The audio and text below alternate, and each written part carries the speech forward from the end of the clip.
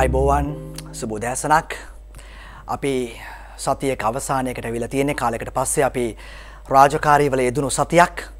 සතිය අවසානය කියන්නේ සති අන්තයක ආරම්භය. පරෙස්සම් සහගතව ප්‍රවේශයක් ගන්නට ඕනේ සති අන්තයක් සති අන්තය කියලා. අපිට ටිකක් හොඳින් හොස්ම ගන්න එහෙම හිතා ගන්නට එපා. ඒ කියන්නේ හොඳින් මගතොට ගමන් කරලා කටයුතු නිදහසේ ගත කරන්න ඕනේ කියලා කල්පනා කරන්නට එපා. මේ කාල පරිච්ඡේදය බොහොම පරිස්සමෙන් කටයුතු කරන්න අවශ්‍යයි ඉදිරි සති දෙකක විතර කාල පරිච්ඡේදය. නිසා ඒ බවත් මතක් කරමින් ආරම්භ කරමු අදත් පත්තරේ විස්තරේ. ආරම්භ කරන්නේ අද දවසේ අද පුවත්පතෙන් අද පුවත්පතේ ප්‍රධාන වාර්තාව රාජිත සේනාරත්න මහතා හා සම්බන්ධ වාර්තාවක් අපි යමු ප්‍රධාන වාර්තාවට රාජිතගෙන් ඇපෑලක් කොළඹ මහාධිකරණය දුන් නියෝගය පදනම් විරහිත බව කියමින් අභියාචනාධිකරණයට ඇපෑලක් ඉදිරිපත් කරයි. මේ බුද්ධිමාල් රුබේරුගේ වාර්තාව. සුදුවෑන් වලින් පුද්ගලයන් පැහැරගෙන ගොස් කිඹුලන් ගහන වැවකට දැමූ බවට පසුගිය ජනාධිපතිවරණයට පෙර මාධ්‍ය හමුවක් පවත්වා පැවසීමේ සිද්ධිය සම්බන්ධයෙන් සැකපිට අත්අඩංගුවටගෙන රක්ෂිත බන්ධනාගාරගත කර සිටි හිටපු අමාත්‍ය රාජිත සේනාරත්න මහතාට ඇප ලබා දෙමින් කොළඹ ප්‍රධාන මහේස්ත්‍රාත් ලංකා ජයරත්න මහත්මිය ලබා දුන් නියෝගය දෝෂ සහිත බව පවසමින් කොළඹ මහාධිකරණය විසින් එය ප්‍රතිශෝධනය කිරීමට එරෙහිව රාජිත සේනාරත්න මහතා විසින් අභියාචනාධිකරණයට ඇපෑලක් ඉදිරිපත් කරලා තිබෙනවා. විශේෂයෙන්ම මේ ඇපෑලෙන් වගඋත්තරකරු වශයෙන් නම් කර තිබෙන්නේ නීතිපතිවරයා. ඒ වගේම දෙසැම්බර් මාසේ 23 වෙනිදා තමයි රාජිත සේනාරත්න මහතා මේ නඩුවේ තුන්වෙනි සැකකරු වශයෙන් නම් කරන්නේ. ඊට පස්සේ ඔහු අත්අඩංගුවට ගන්නවා. හැබැයි ඔහු ප්‍රකාශයක් පසටහන් කරගන්න ඉඩක් නැතුව අප මත මුදා හරිනවා. මේක තමයි මේ මේ ප්‍රස්තුත මාතෘකාව බවට පත් වෙන්නේ. අපි යමු දිනමින පුවත්පතේ තවත් කාරණාවකට ඒහා සම්බන්ධම වාර්තාවක් කොවිඩ් නීති රීති රාජිතටත් එලෙසම වලංගුයි. පල්ලන්සේන කඳුරේ ඔහුත් සාමාන්‍ය අයෙක් බුද්ධිකා ඉඹුලානගේ වාර්තාව. සුදුවෑන් රථ සිද්ධියත් මගින් එවකට ආරක්ෂක ලේකම්වරයාව සිටි ජනාධිපති ගෝඨාභය රාජපක්ෂ මහතාට අසත්‍ය චෝදනා එල්ල කිරීම සම්බන්ධයෙන් අප අවලංගු වූ හිටපු ඇමති රාජිත සේනාරත්න මහතා මේ ගමුව පල්ලන්සේන විශෝධන මධ්‍යස්ථානයේ බන්ධනාගාර රෝහලට ඇතුළත් කර ඇත කියලයි සඳහන් කොට තිබෙන්නේ. මේ වාර්තාව තවදුරටත් සඳහන් කරනවා. දැන් විශේෂයෙන්ම මේ මේ කඳවුරට රැගෙන යන්නේ ඔබ දන්නවා මේ දවස්වල පවතින COVID-19 තත්ත්වයත් සමග කිසියම් ආකාරයක නිරෝධායන කටයුත්තකට ලක් කරන්නට අවශ්‍යයි.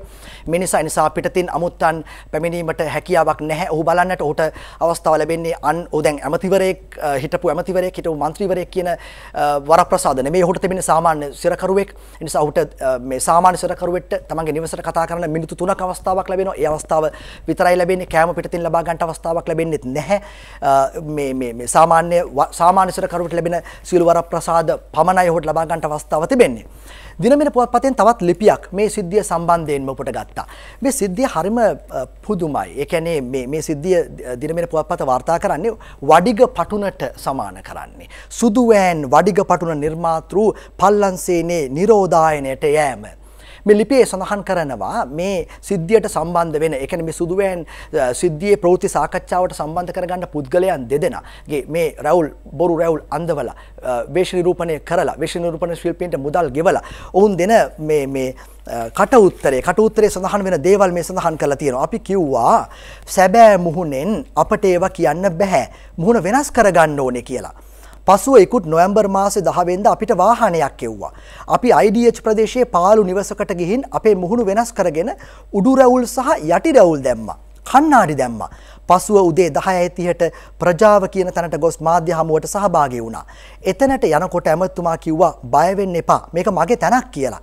මාධ්‍ය හමුවේදී පැටළුණු තැනක් වුණොත් ඇමතුමා බලා ගන්නම් කියලාත් කිව්වා. මේක තමයි තත්ත්වය. කවුද මේ රැවැට්ටුවේ? කාවද මේ රැවැට්ටුවේ? කවුද අන්තිමට රැවටුනේ? ඒක තමයි අහන්න තියෙන්නේ. සාමාන්‍යයෙන් ඒ දවස්වල කතාවක් තිබුණා රාජිත සේනාරත්න නීතියට උඩින්ද කියලා. පසුගිය කාල පරිච්ඡේදය ඇතුළත සිදුවෙච්ච යම් යම් සිදුවීම් සහ ඊට පෙර ආණ්ඩුව හා සම්බන්ධ සිදුවීම් සම්බන්ධව ඔහුව කැඳවලා තිබුණා.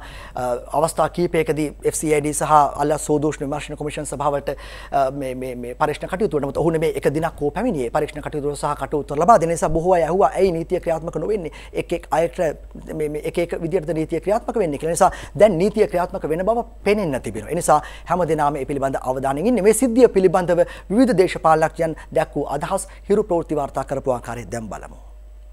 සේනාරත්න ඇමතුමා අධ්‍යක්ෂණය කරපු පිටපත රචනා කරපු මහා දැවන්ත ත්‍රාසය බීතිය කුතුහලය ඇති කරපු චිත්‍රපටේ අවසාන ජවනිකාව ඊය වෙනකොට නරබන්නට අපි සීලු දෙනාට හැකියාව ලැබුණ. මේ ජවනිකාවත් එක්ක සීලු දෙනාටම දැනගැනීම පිණිස මම එතුමා කරපු ප්‍රකාශයක් මාධ්‍යයට නිකුත් කරනවා. හිරේයන අවුරුද්ද සහෝදරි මතක තියාගන්න. මේ අවුරුද්ද ඉවර වෙනකොට රාජපක්ෂ ඇඩ්‍රස් කොහෙද? වැලිකඩ හිරගෙදර. තමුන්නාන්සලට ඇඩ්‍රස් වරදින්නේ නැහැ. හිතපු ගමන් පොඩි පෝස්ට් කාඩ් එකක් දාලා සනීපද කියලා. සනීපද කියලා. හිටපු ඇමතුමා දැන් සනීප ප්‍රෝති සාකච්ඡාවක් පැවැත්තුව කියලා ඒ ප්‍රෝති සාකච්ඡාවේදී වෙන පුද්ගලයෝ දෙන්නෙක් යම් අසත්‍යයක් කිව්වා කියලා ඒ කාරණේ මත අත්තරංගොඩ ගන්න ආණ්ඩුවට තියෙන ඌමනාව පලිගැනීමේ චේතනාවෙන් යුතු ඌමනාවක්. මේ පුවත්පත් සාකච්ඡාව උතුරේ පුවත්පත්වල පහුවෙන්ද උදේ හෙඩ්ලයින් වල තිබුණා. ඉතින් ඒකෙන් සම්පූර්ණයෙන්ම ද්‍රවිඩ ජනතාවත් මුස්ලිම් ජනතාවත් විශාල භීතියකටපත් වුණා. මේක ඊටාම වැරදි සහගත ක්‍රියාවක්. ඒ අයට විරුද්ධව දඬුවම් පැමිණීම අනිවාර්යෙන් කළ යුතු කාරණයක්. රාජිත සේනාරත්න මහත්මයාට ජනාධිපතිවරණයට කලින් උවමනා වුණා ගෝඨාභය රාජපක්ෂ ජනාධිපතිවරයාට එරෙහිව අපහාස කිරීමට මේ පුද්ගලයා නැව්ගත්තේ කොහොමද? ඖෂධ මාපියාව සම්බන්ධව හරියට විමර්ශනයක් කළොත් සදාකල් රාජිත සේනාරත්න මහත්මයාට හිරගත වෙලා ඉන්න වෙනවා. තුමාට දූෂණ චෝදනා නිසා පල්ලස් කොමිෂමට එන්න කිව්වා FCID කට එන්න කිව්වා. ඒ එක තැනකටවත් ගියේ නෑ බලේ පාවිච්චි කරලා. ආ, මේගොල්ලෝ වැඩේ වැරදුනාම පැනලා යනවා හොරෙන්. අන්තිමට කොටු වුණාම මේක අපේ ආණ්ඩු පක්ෂේ වැඩක් කියලා තමයි කියන්නේ ඉමුල් කතාවක් අල්ලගෙන හිටපු ඇමති කෙනෙක් පස්සෙන් එලවනවා. තනිකරම දේශපාලන පරිගැනීමක් ලෙසයි මම මේක දකින්නේ. සුදුවන් කතාව. ඒකේ ප්‍රශ්නයක් තියෙනවා වෙන්න පුළුවන්. මොකද රාජිත් සේනාරත්නත් එක්ක ඒ වාඩි වෙච්ච කට්ටිය මාධ්‍ය හමුවට දැන් ඒගොල්ලෝ වෙන කතාවක් කියන හින්දා ප්‍රශ්නයක් තියෙනවා කියලා අපට හිතෙනවා. මේ රටේ ඡන්ද දෙන්න හිටපු ලක්ෂ ගණන් ජනතාව භීතියට පත් වුණා. ඔවුන්ගේ ඇඟවල් වල තියෙන රෝම කූප කෙලින් වුණා මේ කිඹුලන්ට මේක දාන විදිය රාජ්‍ය මාධ්‍ය වලින් හැම වෙලේම පෙන්නකොට ඒක අනුව යුක්තිය පසින්දලීම සහ දිට්ඨ ධම්ම වේදනී අනුව සිද්ධ වෙන දේවල් වලට අපිට මොනවත් කරගන්න විදියක් නැහැ. වැරද්දක් කරලා තියෙනවනේ දඩුවම් දෙන්න ඕනේ. එළියම පේනවා දේශපාලන පරිගැනීම් කියලා. ඇයි මෙතෙක් කල් මෙහෙම ඉඳලා ඉඳලා දැන් උසාවි ඇරියටම අත්දැකගන්න ගන්න පටන් ගත්තා. කිසිම දේශපාලන ඇඟිලි ගැසීමක් නැතුව අධිකරණය දීපු තීන්දුවක් විවේචනය කරන්න මං හිතන්නේ කිසි කෙනෙකුට අයිතියක් නැහැ. මේක ආණ්ඩුවෙන් කරපු එකක් නෙවෙයි. අධිකරණය මගින් ගත්ත තීන්දුවක් නේ. සජ්ජාතික පස්සේ එදා ඉඳන් මේමයි වල්ලලි කුලප් වුණා මෙහෙම තමයි. රාජිත සේනාරත්න මහත්මයාගෙන් දැන් අපි අහනවා ඔබතුමාට සනීපද සැපද කියලා. අද රාජිත සේනාරත්න කිඹුලා බනිස් කමින් ඉන්න ඕන තැන ඉන්න. 2019 12 වෙනි මාසේ 27 වෙනිදා හිරු ප්‍රවෘත්ති විකාශය තුල ගියා මුබාරක් කියන වෛද්‍යවරයා සම්බන්ධව. ECG පරීක්ෂණ වාර්තාව යහපත් වෙලා තිබ්බා රාජිත සේනාරත්න මහත්තයා. නමුත් අර මුබාරක් කියන වෛද්‍යවරයා රාජිත සේනාරත්න ලොකු ලෙඩෙක් කියලා පෙන්වන්න උත්සාහයක් දරුවා. ඒක නිසා රාජිත සේනාරත්නට ක්‍රියාත්මක වෙන නීතිය මේ වෛද්‍යවරයාට අනිවාර්යයෙන්ම ක්‍රියාත්මක වෙන්න ඕනේ. සතහැටේ බෙහෙත් පෙත්ත රුපියල් හැට විකුණපු බාල ඖෂධ ගෙනල්ල ඖෂධ වලින් ලාභ උපයපු රාජිත සේනාරත්න වගේ අය දඟගේ දාන එක නෙමේ කරන්න ඕනේ අයථා විදියට උපයාස් ගත්ත සියලු මුදල් රාජ සන්තක කොට ජනතාවට සහන සැලසීම කළ යුතුයි. හැම නීතියටම වඩා උඩින් තියෙනවා ස්වභාව ධර්මයේ නීතිය. දිට ධම්ම වේදනීය කර්මය මම ඊයේත් කිව්වේ ඒකයි. නිසා මේ හැම දෙයක්ම සිදු වෙන්නේ කිසියම් නියතයකට ධර්මතාවයකට අනුව ඒ නිසා ඒවා කිසිසේත්ම අමතක කරන්න හොඳ නෑ. ඒ රාජිත පිළිබඳව දැන් මංගල පිළිබඳව දිවයින පුවත්පතට යමු. දිවයිනේ ප්‍රධාන වාර්තාව මේ. මංගල පැය 6ක් CID-ට උත්තර බඳී. මේ අද ප්‍රධාන වාර්තාව හේමන්ත රන්දුනුගෙන්.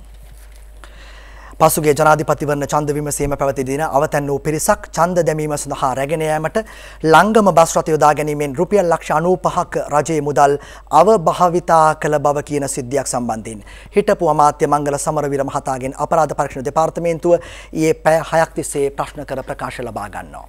ඊයේ හවස දෙකට ඔහු අපරාධ පරීක්ෂණ දෙපාර්තමේන්තුවට එන්නේ. රාත්‍රී 8 පමණ වන තෙක් ඔහුගෙන් ප්‍රශ්න කරගන්නවා. මීට පෙර මේ සිදුවීම පිළිබඳවම රිෂාඩ් බදුරුදීන් මහතාගෙනුත් ප්‍රශ්න කරනවා. රාජ්‍ය දීපල කාගේද මේ රාජ්‍ය දීපල ඔබේ අපේ අප හැම කෙනාගේ රාජ්‍ය දීපල අයුතු ලෙස අයතා ලෙස භාවිතා කර ගැනීම රිසිසේ භාවිතා කර ගැනීම දේශපාලනඥයෝ Tamanට ඕන ඕන විදියට කරගත්ත දෙයක්. එම කරන්න බෑ රාජදේපල අයථා ලෙස භාවිතා කිරීම දඬුවම් ලැබිය හැකි බරපතල වරදක්. ඒ පිළිබඳව තමයි මේ පරීක්ෂණ පැවැත්වෙමින් තිබෙන්නේ. කොහොමද ඒක කළේ කියන එක අපි අද පුවත්පතේ මේ වාර්තා කරන ආකාරයට යමු. මංගලගෙන් CID පැය 5ක් ප්‍රශ්න කරයි. ජනාධිපතිවරණ සමයේදී ලංගම් බස් ලබා ගැනීමේ සිද්ධියක් ගැන දීර්ඝව විමසයි. මේ එච්.අයි. තුෂාර සහ ඉෂාන් සංජීවගේ වාර්තාව. ජනාධිපතිවන සමයේදී පුත්තලමේ සිට මන්නාරම් ප්‍රදේශයට ඡන්දය ලබා දීම සඳහා ඡන්දදායකයන් රැගෙන යාම මේ ලංගම් බස් රථවරින් ලක්ෂ 95ක මුදලක් මේ මේ අ, ආණ්ඩුවට පාඩු සිද්ධ කිරීම කියන කාරණාව තමයි මේ එල්ලලා තිබෙන චෝදනාව මේ පිළිබඳව තමයි දැන් පරීක්ෂණ කටයුතු සිදු කරමින් යන්නේ. දැන් මේවා මේවා හොඳ පාඩම් හැම දේශපාලනඥයෙක්ම රාජ්‍ය දේපල අයථා ලෙස භාවිතා කිරීම සිදු නොකළ යුතුයි. දැන්වත් මින් මතුවට හෝ. හොඳයි බලමු මේ වාර්තාව ඊයේ හිරු ප්‍රවෘත්ති ගෙනාවේ කොහොමද කියලා. අපරාධ පරීක්ෂණ දෙපාර්තමේන්තුවට පැමිණෙන ලෙස කර තිබූ දැනුම් දීමට අනුව හිටපු මුදල් අමාත්‍ය මංගල සමරවීර මහතා එහි පෙනී සිටියා. පසුගිය ජනාධිපතිවරණයේදී පුත්තලම දිස්ත්‍රික්කයේ අවතැන් වූවන්ට ඡන්දය ප්‍රකාශ කිරීම සඳහා ළඟම බස් රථ යොදා ගනිමින් මන්නාරම දිස්ත්‍රික්කයට රැගෙන යාමට අවශ්‍ය මූල්‍ය පහසුකම් සපයා දීම සම්බන්ධයෙන් සිදු කරන විමර්ශනයකට අදාළව ප්‍රකාශයක් ලබා දීම සඳහායි මෙම කැඳවීම සිදු කර තිබුණේ. අද මොකක්ද මේ කාරණාව? දන්නේ එන්න කිව්වා ආවා. ඔබට මොකක්ද දින චෝදනාව? මම එනකොට කියන්නම් ආවොත්. අදාළ විමර්ශනය සම්බන්ධයෙන් හිටපු අමාත්‍යවරයෙකු වූ රිෂාඩ් බදියුදීන් මහතාගෙන්ද මීට පෙර අපරාධ පරීක්ෂණ දෙපාර්තමේන්තුව ප්‍රකාශ සටහන් කරගනු ලැබුවා. හිටපු අමාත්‍ය මංගල සමරවීර මහතාගෙන් පැය පහකට අධික කාලයක් ප්‍රකාශ සටහන් කරගෙනුණා. මම මේ හතරවෙනි තට්ටුවේ පැය පහයි විනාඩි පහලවක මැරතන් එකක් දුවලා ඉන්නේ. අපේ අක්බීමන දයරත්න හාමුදුරුවෝ කෙනෙක් පැමිණිල්ලක් දාලා තියෙනවා පසුගිය මැතිවරණයේදී සරණාගත කඳවුරුවල ඉන්න ඡන්දදායකයන් පිරිසක් තමන්ගේ උතුරේ තියෙන ඡන්දපොළට ගෙන යාම සඳහා මුදල් ඇමතිවරයා වශයෙන් මම අනුමැතිය දුන්නයි කියලා. අදාළ ඇමතිවරයාගේ ඉල්ලීම අනුව ඒ මුදල් අනුමැතිය දුන්නා. ඒ ගැන මම සතුටු වෙනවා ආඩම්බර වෙනවා. ඒ මගේ අස්ස නොව ඒක හොරෙන් කරපු දෙයක් නෙමෙයි. අපි හැඟි හොරා ඔය ගේම් ගහන මිනිස්සු නෙමෙයි. ඔය ඉන්නේ දෙරණ අර වගේ ඒවා ඉන්න ගේම් කාරයෝ නෙමෙයි. හිරුව එක ඉන්න. සත්භාවයෙන් කරපු වැඩක් මේක. සත්භාවයෙන් නෙමෙයි මම අලිවතාවක් අවශ්‍ය නම් කරනවා ප්‍රජාතන්ත්‍ර වාදය වෙනුවෙන් මට මේ සංඝයා වහන්සේලාගෙන් තියෙන ප්‍රශ්න තියෙන්නේ එක්තරා සංඝ කල්ලියකින් විතරයි. සංඝ කල්ලි කියන එක අසාධාරණයි. එහෙම කියන්න බෑනේ සංඝයා වහන්සේලා කල්ලි කියන සංඝ කල්ලි කියලා කොටසක් තියෙනවද? ඔව් තියෙනවා. අද සංඝ කල්ලියක් තියෙනවා. කාලෙකට පස්සේ පින්දුරයක් ගත්ත ඉරාම. අර අර උම්ම දෙන එකට පස්සේ. රවි කරනායක මල්පිටපාට. ඊට පස්සේ නම් ගොඩක් hina වුණා.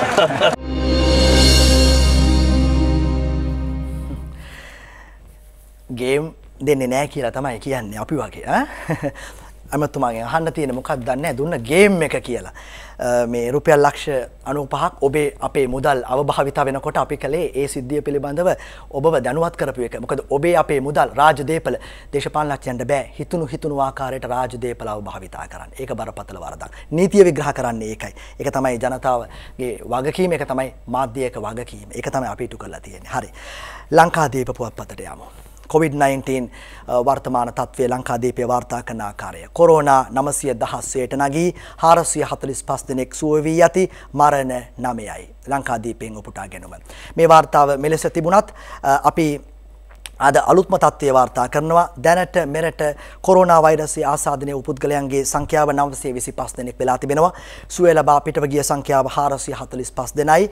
වසංගත රෝග විද්‍යා ඒකකය සඳහන් කරන ආකාරයට වෛද්‍ය අධීක්ෂණ යටතේ 471 දෙනෙකු ප්‍රතිකාර ලබනවා. මේ නිතරම මේ 900 ගණන් එහෙම කිව්වට කලබල වෙන්න එපා. මේ 471 තමයි හරිම සංඛ්‍යා ලේඛනය. ඒ කියන්නේ දැනට මේ මේ මේ ප්‍රතිකාර ලබන ප්‍රමාණය. ඒ නිසා මේ ඒ නිසා කලබල වෙන්න එපා මේ සංඛ්‍යා ලේඛන පිළිබඳව අනිත් එක මේ හමුවන රෝගීන් පිළිබඳවත් අපි ඔබට දැනුවත් කරන්න බලාපොරොත්තුවෙන් ඉන්නවා ඉදිරි කාලයේදී මේ මේ මේ ඉදිරි ප්‍රවෘත්තිවල සඳහන් වෙලා තියෙන ඒ පිළිබඳ තොරතුරු අපි ඉදිරිපත් කරන්න බලාපොරොත්තුවෙන් සිටිනවා මේ ඉදිරියේදී අපි යමු අද පුවත්පතට කොවිඩ් අවදානම ඉවත්ව ගොස් නැහැ.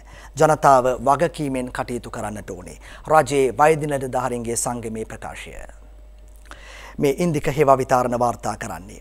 COVID-19 වෛරස් තත්ත්වයේ අවධානම සම්පූර්ණයෙන්ම ඉවත්ව ගොස් නොමැති නිසා ජනතාව වගකීමෙන් කටයුතු කළ යුතු බව රජයේ වෛද්‍ය නිලධාරීන්ගේ සංගමය ප්‍රකාශ කරනවා. ඒ නිසා හිතන්න එපා ඇඳරි නීතිය ලිහිල් කළා. ඒ නිසා මේ වගකීම අපි දැන් ඉවරයි. අවධානම පහව ගිහිල්ලා තියෙන්නේ කියලා එහෙම හිතන්න එපා. සමාජ දුරස්ථ භාවය රකින්න මේ අර මේ මත්පැන් හල් විවෘත කරනකොට නම් දුරස්ථ භාවය දැක්කේ නෑ අපි. ඒ නිසා ඒක පවත්ව ගන්න ඒක අවශ්‍යයි. ඒ නිසා මේ අවධානම තාම ඉවත්ව ගිහිල්ලා නෑ. තව සති දෙකක්වත් අපිට මේ වගේ ඉන්න වෙයි කියලා බලධාරීන් ප්‍රකාශ කරලා තියෙනවා. ඒකත් අපි අවධානය යොමු කරගන්නටම අවශ්‍යයි. අපි අද පුවත්පතේම ප්‍රධාන වාර්තාවට යමු. බස්වල හිටගෙන යන්න එපා. බස්වල සිටගෙන ගියොත් කොවිඩ් වෛරසයට ගොදුරු වීමේ වැඩි ඉඩකඩක්. ඔබ පරිස්සම් වෙන්න. නිදර්ශනය වික්‍රමසිංහගේ වාර්තාව. ආසන්න ගණනට පමණක් මගින් ගෙනයෑමම මගී ආරක්ෂාවට යෝග්‍යතම ක්‍රියාමාර්ගයයි. ප්‍රවාහන ශේෂත්‍රයේ විද්වත් වූ පෙන්වා දෙනවා. බස්ට්‍රතයක් තුළ සිටගෙන යෑමෙන් COVID-19 වෛරසයට ගොදුරවීමේ වැඩි ඉඩ කඩක් පවතින බවත් ඒ අනුව ආසන ගණනට පමණක් මගින් ගෙන යාම මගී ආරක්ෂාව සඳහා ගන්න පුළුවන් හොඳම පියවර කියලායි සඳහන් කරන්නේ. එනිසා මේ පිළිබඳව අවධානය යොමු කරන්නටම අවශ්‍ය වෙනවා හිටගෙන යන්න එපා. ඒ බස්සේ ඉඩ නැත්තම් ඊළඟ බස් එකේ නගින්න. කරන්න තියෙන ඒක තමයි දැන් අර හදිස්සිය ගැන හිතන්නට එපා. කාලය නෙමෙයි වැදගත්. තමන්ගේ ජීවිතය වැදගත්. මවබිම පුවත්පතෙන් යමු මේක ඒ තරම් සුවදායක සුබදායක ප්‍රවෘත්තියක් වෙන්නේ නැහැ. ලෝක සෞඛ්‍ය සංවිධානයේ වාර්තාව. කොරෝනා කිසිදා ලොවෙන් තුරන් නොවේවි.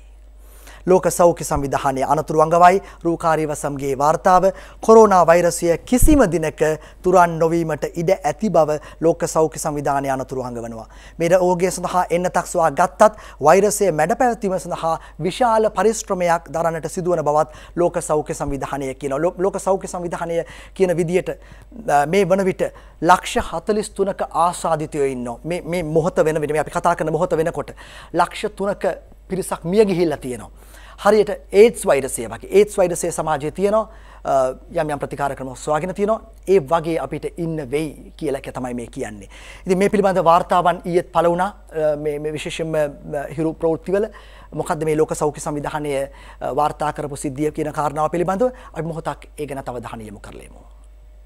We have a new virus entering the human population for the first time, and therefore it is very hard to predict when we will prevail over it. This virus may become just another endemic virus in our community, and this virus may never go away.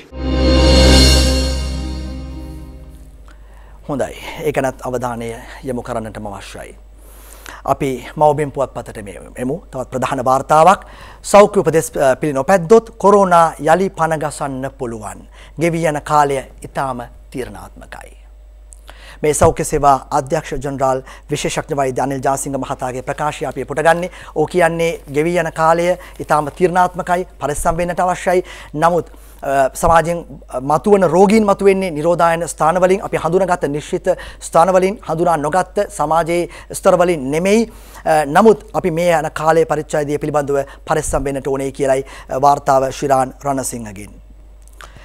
ලොව පුරා corona මරණ ලක්ෂ තුන පණී. මේ ශ්‍රීරාන් රණසිංහගේම වාර්තාව. ලෝකේ COVID-19 වෛරසයෙන් මියගිය ගණන ඊරාත්‍රී වන විට ලක්ෂ තුනේ සීමාව ඉක්මවා ගිය බව තමයි මේ වාර්තාව තවදුරටත් සඳහන් කරන්නේ. ආසාදිතයන් රඳවන්න රෝහල් 33ක වෙනම ස්ථාන ඉදිකිරීම් ගුවන් හමුදාව යටතට ජේටි දසිල්වාගේ වාර්තාවක සඳහන් කොට තිබෙන්නේ. මේ කාරණාව ඉතාම අවශ්‍ය වෙන්නේ අපි ඉදිරියට කිසියම් ආකාරයක කටයුත්තකදී පරිස්සම් සහගතව කටයුතු කරන්නට අවශ්‍යයි. ලංකාව තුල මෙය ව්‍යාප්ත වීම වළක්වා ගැනීම අපේ ප්‍රධානතම කාර්යභාරය වෙන්නට ඕනේ. එය කරන්නට නම් අපි මේ කාරණාවන් කෙරෙහි අවධානය යොමු කරන්නට අවශ්‍යයි. ශ්‍රී ලංකාව තුල ව්‍යාප්තිය සිදු නොවන තැනටපත් කරගන්නට අපි අවශ්‍යයි. ඒ නිසා දැන් දැන්ම මෙවැනි තත්ත්වයක් ඉදිරියේදී ඇති වුණොත් මොකද කරන්න කියන කාරණාව පිළිබඳව වැඩ කරන්නට ඕනේ. අපි යමු ලංකාදීපුවත් පතට. කොරුණා රෝගීන් සමාජයෙන් හමු නොවන තත්ත්වයක් දැන් හමු වෙලා. මේ සෞඛ්‍ය බලධාරී හෝ කියන්නේ. ඔබ මම කටයුතු කරන මේ සමස්ත සමාජයෙන් රෝගීන් හමු නොවීමේ තත්ත්වයක් දැන් වාර්තා වෙලා. හමුවන රෝගීන් වාර්තා වෙන්නේ නිශ්චිතව හඳුනාගත් ස්ථානවලින්. ඒ නිසා අවධානම පහව ගියා කියලා කියනවා නෙමෙයි කෙසේ වෙතත් බරපතල අවධානමක් දැනෙන්නේ නැහැ කියන එක තමයි මේ සඳහන් කරලා තියෙන්නේ. ඔබ සමහර වෙලාවට කොරෝනා සම්බන්ධ නීති රීති බරපතල ලෙස ගන්නේ නැතුව ඇති. නමුත් මේ සිද්ධිය බලන්න මේ වාර්තාව ලංකාදීපේ කොරෝනා නීති කැඩූ ඇමරිකානු පයිලට් මාසයක් හිරේ. මේ වාර්තාව සිංගප්පූරුවෙන් COVID-19 වෛරසයේ ව්‍යාප්තියට අදාළව පැන වූ ස්වයන් නිරෝධායන නීති කඩ කළ ඇමරිකානු ජාතික ගුවන් නියමයකට සිංගප්පූරු අධිකරණයකින් මාසයක සිරදඬුවමක් නියම කරලා තියෙනවා. මේක වෙන්නේ ඔස්ට්‍රේලියාවේ ඉඳලා සිංගප්පූරුවට ඉකුත් අප්‍රේල් තුන්වෙනිදා එන ගුවන් යානයෙන් තමයි ඔහු එන්නේ. ඔහුට කියනවා නිරෝධායනය වෙන්න කියලා දවස් 14ක්. ඔහු නිරෝධායනය වෙන අතරේ නිරෝධායනයට පරිබාහිරව කිසියම් හෝටලයක ගත කරලා තියෙනවා. මේ සිද්ධිය නිසා තමයි ඔහුට මේ දඬුවම නියම කරලා තියෙන්නේ. ඒ වාර්තාව ලංකාදීප පුවත්පතෙන් උපට ගන්නේ. අපි යමු දිනමින පුවත්පතේ ප්‍රධාන වාර්තාවට. අපිට සිටින විශ්වාසවන්ත මිතුරා පිළිබඳව මේ වාර්තාව.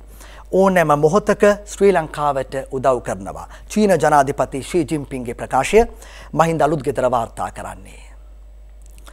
ජනාධිපති ගෝඨාභය රාජපක්ෂ මහතාගේ ශක්තිමත් නායකත්වය යටතේ ශ්‍රී ලංකාව තුළ කොරෝනා වසංගතය ප්‍රතිඵලදායී ලෙස පාලනය කර ඇති බවත් අවශ්‍ය ඕනෑම මොහොතක ශ්‍රී ලංකාවට සහයෝගය ලබා දීමට චීනය ඉදිරිපත් වන බවත් ජනාධිපති ෂී ජින්පින් මහතා ශ්‍රී ලංකා ජනාධිපති ගෝඨාභය රාජපක්ෂ මහතා හමුවේ ප්‍රකාශ කළ බව කොළඹ චීන තානාපති කාර්යාලය ප්‍රකාශ කරනවා. මේ ශ්‍රී ලංකාවේ විශ්වාසවන්තම මිතුරා. චීනය චීනය කියනවා විශේෂ කාරණාවක්. චීන ජනාධිපතිතුමා අපේ ජනාධිපතිතුමාට ඊයේ දවසේ දුරකථන ඇමතුමක් ගන්නවා. දුරකථනෙන් කතා කරලා කියනවා අපිට හොඳට මතකයි අපිට අමාරු වෙලාවේ අපේ දුෂ්කර කාල පරිච්ඡේදයේ ඔබ අපිට දුන්නු සහය. ඔබේ රටේ රට වැසියෝ අපිත් සමග සිටපු ආකාරය බොහෝ රටවල් චීනය තනි කළා. කොන් කළා. හැබැයි අපි ඒක කළේ නෑ. අපිට ඒක හොඳට මතකයි කියලා. මේ තමයි චීන ජනාධිපති ෂී ජින්පින්ගේ ප්‍රකාශය අපි දින වෙන පුවත්පතින් ඔබට ගන්නේ. බලමු අපේ ජනාධිපතිතුමාගේ ආදර්ශය අද ප්‍රධාන ඡායාරූපය හැම පුවත් පතකම වගේ ජනපති තම තෙමසක වැටුප කොවිඩ් අරමුදලට ලබා දෙයි. ජනාධිපතිතුමා තමන්ගේ මාස තුනක සිය වැටුපුවන රුපියල් දෙලක්ෂ අනු දෙදහස් පන්සියක මුදල COVID-19 සෞඛ්‍ය හා සමාජාරක්ෂණ අරමුදලට පරිත්‍යා කිරීම සඳහා ඊට අදාළ චෙක්පත ජනාධිපති ලේකම් ආචාර්ය පී ජයසුන්දර මහතා වෙත ජනාධිපති ලේකම් කාර්යාලයේදී ලබා දුන්නා. මේක එක්තරා ආකාරයකට මේ ආදර්ශයක් වශයෙන් අපිට හඳුන්වන්න පුළුවන්. මේ ආදර්ශය ඔස්සේ කිසියම් ආකාරයක මේ කටයුතු කරන්නට හැකි ආකාරයට කිසි ගැටලුවක් නෑ හැකි ආකාරයට කටයුතු කරන්න පුළුවන්. ඒක කිසිම බලකිරීමක් නෙමෙයි තියෙන්නේ. තමන්ගේ මට්ටමට තමන්ට පුළුවන් ආකාරයට කටයුතු කිරීමේ හැකියාවක් තියෙනවා. තම තමන්ගේ හැකි පමණින් එක ගැන කිසි ගැටලුවක් නෑ රුපියල් පන්දාහක මුදල් ලබාදීම පිළිබඳ ඊළඟ වාර්තාව. පන්දාහ දෙන්න කෝටි දෙදහස් පන්සිය හැත්තෑ දෙකක් කැබිනට් අනුමැතිය ලැබී තිබෙනවා සිතාරාසේනානිගේ වාර්තාව. මේ වාර්තාව තියෙන්නේ පවුල් අනුපවුල් සහිතව හැත්තෑ තුන් ලක්ෂයක් සඳහා දැන් මැයි මාසෙත් මේ මුදල ලබා දෙනවා අප්‍රේල් මාසෙ ලබා දුන්නා. මැයි මාසෙත් ලබා දෙනවා. ජූනි මාසෙත් ලබා දෙන ජනාධිපතිතුමා තීරණය කරනවා මැයි මාසෙ ලබා දීම සඳහා කැබිනට් පත්‍රිකාවයි මේ ඉදිරිපත් කොට තිබෙන්නේ. කෝටි 2572ක් කෝටි 2572ක් මේ තමයි නිදහසින් පසු කිසියම් ආණ්ඩුවක් දරපු වැඩිම මුදල වශයෙන් වාර්තා වෙන්නේ. කිසියම් ආණ්ඩුවක් දරලා තියෙන ඉහළම මුදල මේ වගේ සුබ සාධන කටයුත්තකටම හැමදාම කියන්නේ ඒකයි ශ්‍රී ලංකාවට තියෙන. එහෙම ලොකු ආර්ථිකයක් නෙමෙයි කුඩා ආර්ථිකයක්. ඒ ආර්ථිකයටත් දැනුණ සැලුණා මේ මේ මේ ප්‍රශ්නෙත් එක්ක. නමුත් අපි මේ වගේ තත්ත්වයක් 5000 දෙනවා කියන එක ලොකු කාරණාවක්. ඒකයි මේ සඳහන් කරන්නේ. අපි මව්බිමට එමු. රෝහල් කාර්ය මණ්ඩලයට ලංගම පහසුකම් අත්හිටුවයි තව දුරටත් සේවය අනවශ්‍ය බව සෞඛ්‍ය ලේකම් කියලා. සෞඛ්‍ය ලේකම් කියලා කියන්නේ මේ හිටපු සෞඛ්‍ය ලේකම්තුමිය දුරෙන් යන්න පෙර ලිපියකින් දනුම් දීලා තියෙනවා දැන් ඇදිරි නීතිය අවසන් දැන් බස් තියෙනවා ඒ නිසා ප්‍රවාහන කටයුතු අවශ්‍ය නැහැයි කියලා මේ ජේ.ටී. ද සිල්වාගේ ප්‍රකාශය වාර්තාව මේ වාර්තාවේ කියන ආකාරයට දැන් සෞඛ්‍ය සේවක සේවිකාවන් ලොකු ප්‍රශ්නයක ඉන්නවයි කියලායි සඳහන් කරන්නේ කොහොමද අපි වැඩට එන්නේ බස් අඩුයි කියලා. කොරෝනා කාලේ විදෙස් ලාංකිකයන් ලක්ෂයක් මෙරටට ඇවිත්. මේ ශිරාන් රණසිංහගේ වාර්තාවක්.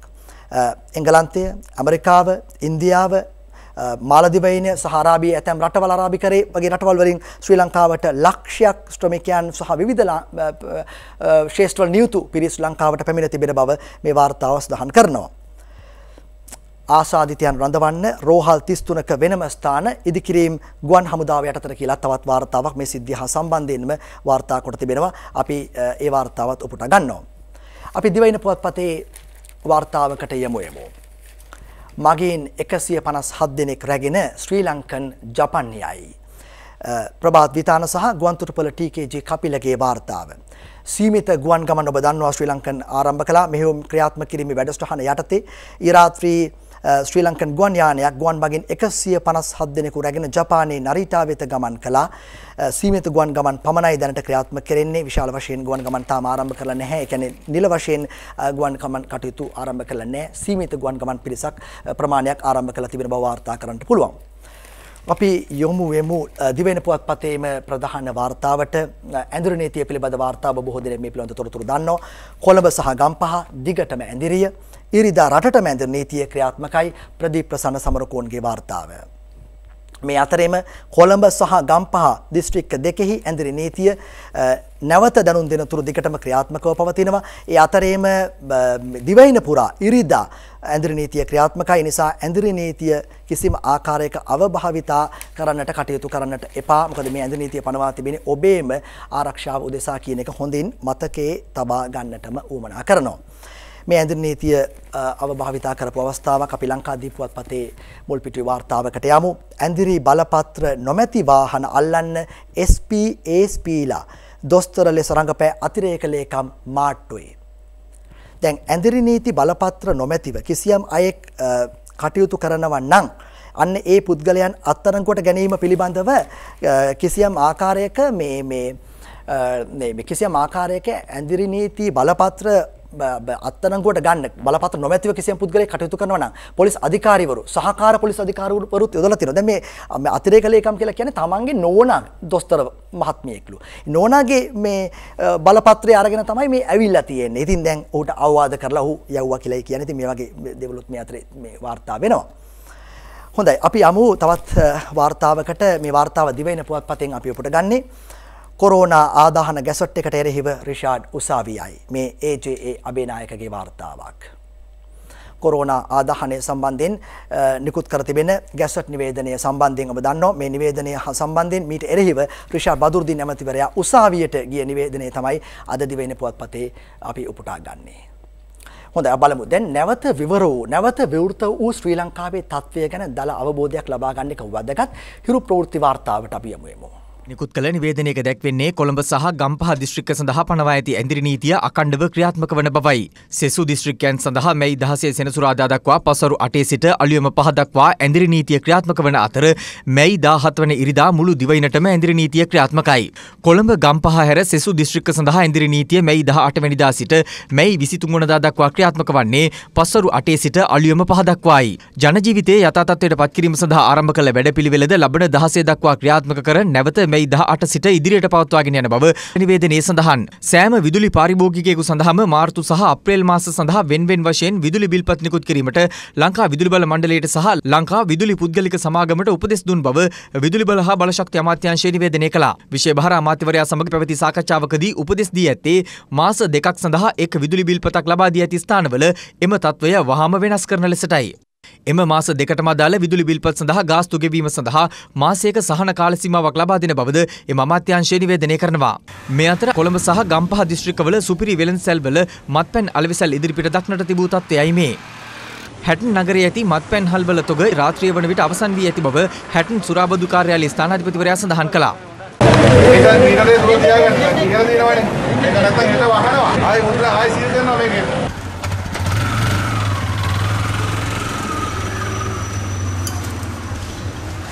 මේ යාළු ගාම් ගන්න. අර ගෙරුවා නෑ. බයි බයි. වාද්දුව ප්‍රදේශයේ ක්‍රියාත්මක වූ කොණ්ඩ කපන ස්ථානයක් වසා දැමීමට මහජන සෞඛ්‍ය පරීක්ෂකවරුන් පියවර ගත්තේ නිසි සෞඛ්‍ය උපදෙස් අනුගමනය නොකිරීම හේතුවෙන්. අතුපැත වෙන්න මොනවද? දන්නවනවද ඔක? ඒ සාක්කු දාගෙන ආරෙන්න නෝ වැඩේට. කොණ්ඩේ කපනවද දාගෙන ඉන්නවද? කොණ්ඩේ කපන ඉඳ දාගෙන ඉන්න. මේක දෙකම දාන්න. නායිට පහක දාන්න කියලා මෙයාලා දිනන එක මං ඊයේ. යාර කොණ්ඩේ අරගෙන ගියේ. ආයෙත් මෙයාලා මාසික දාලා නැහැ ඔයා. මාස දාන කපන්න බැහැ. එහෙම කපන්න වෙනවා. එන වහලා දාන්න. එන වහලා ගන්නවා.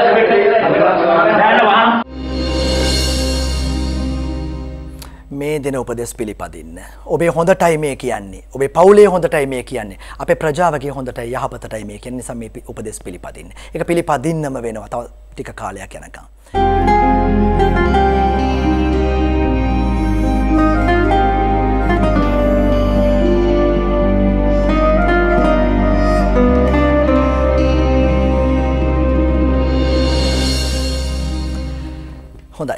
අපි නැවතත් පත්තරේ විස්තරය සමගින් ලංකාදීපුවත් පතට එමු.